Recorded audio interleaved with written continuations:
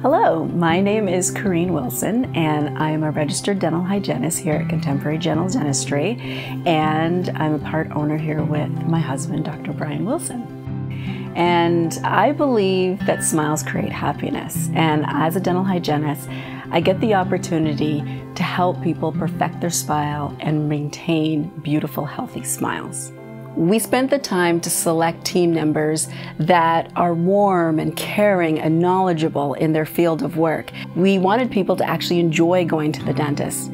I get the blessing of working with my husband, who is a wonderful dentist and knows how to take care of each and every patient in a special way. And if you're looking for a dentist like that, and you're looking for a place where you can feel welcome and that you'll be well taken care of, I think Contemporary Gentle Dentistry is the place for you.